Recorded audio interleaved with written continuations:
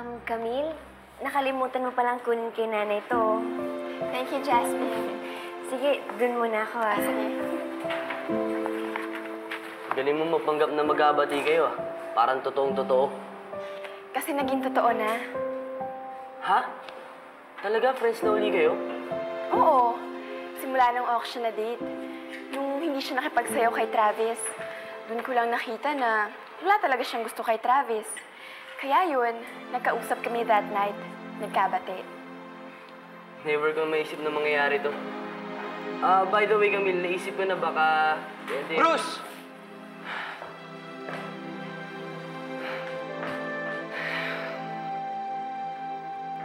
Pare, pinapatawa ka ni Coach. Um, sasabay na ako sa inyo. Doon kasi ako dadaan eh. Ah, sure. Una na ako, bro. Ah, sige pare. Tara. Siya nga pala, Travis. Baka gusto mong lumabas tonight. May magandang band na tutugtog mamaya sa Makati.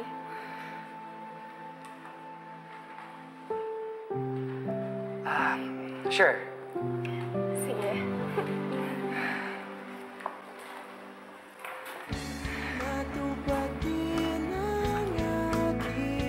Hoy, ano ibig sabihin nun?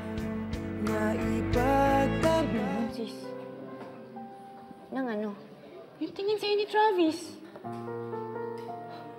Parang nagagalit ka.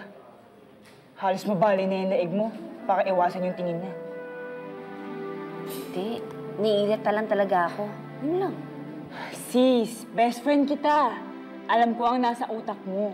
At alam ko rin ang mga sekreto mo. Don't deny and don't tell a lie.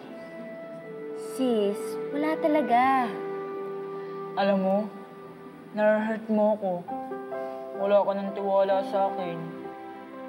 Naku, ikaw, bagay na bagay talaga sa'yo ang drama club. Ang arte-arte mo. Sige na nga, sasabihin ko na sa'yo. Pero wag OA yung reaction mo, ha? Um,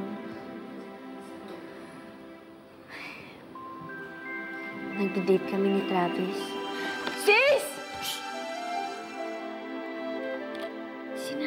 Wag mo i-OA yung reaction mo, di ba?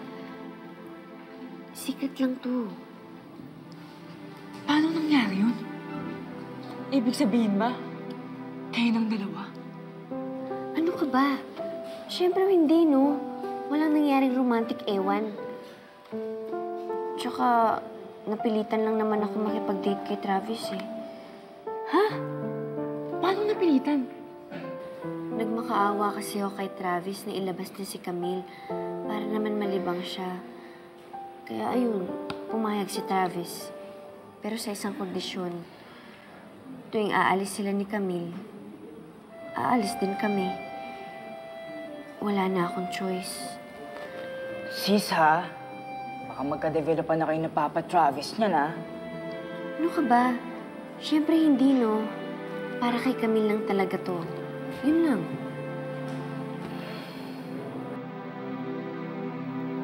I'm happy to say, natapos na ang grading for this quarter at nandito na sa kamay ko ang ranking para sa class niyo. Alright? Our third honor goes to Mr. Romeo Bato.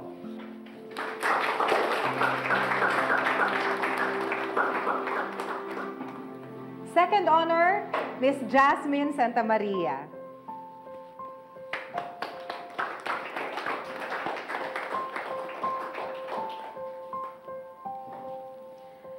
And our first honor goes to Miss Camille Soriano.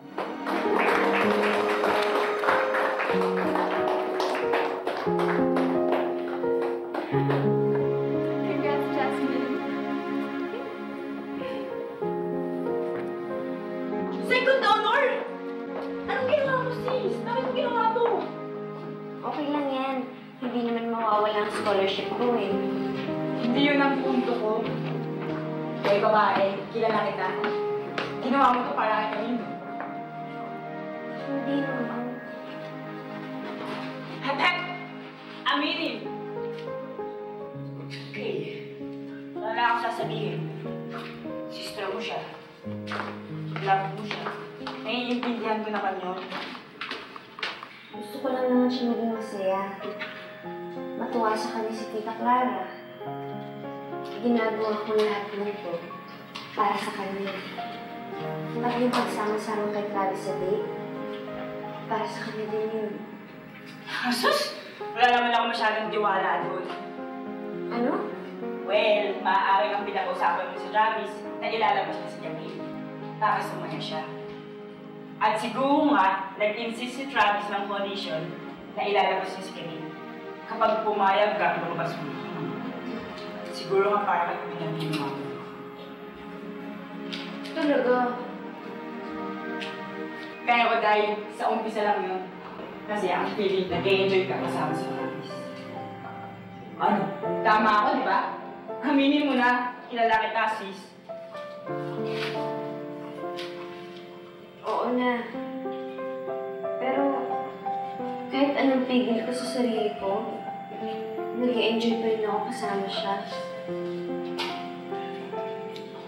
Mangyayari nga lang yan kung may feelings ka him. Diba? Eh, ano nga ba true feelings mo, sis? Ang totoo, ang totoo, mahal ko na siya.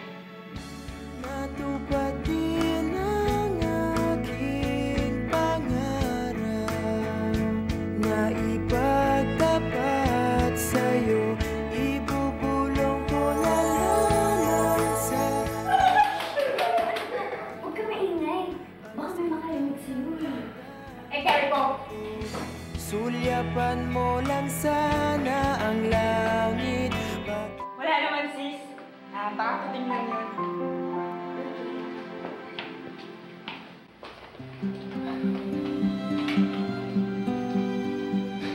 Mang Andres, mahal niya ako. Inamin na niya. Talaga? Opo. Pero kay Romeo lang. Nagpakulang muna ako. Hinayaan ko siya. Kasi kilala ko yun. I-deny lang niya. Kaya quiet lang muna ako. Didiskartehan ko na lang siya. Pero at alam ko na, di ba? Eh di mabuti. Para mahulog na rin ang loob niya sa'yo, sagutin ka na niya. Dahil konti na lang ang panahon, malapit ng January. Dapat, lubusin niyo na ang oras ninyo.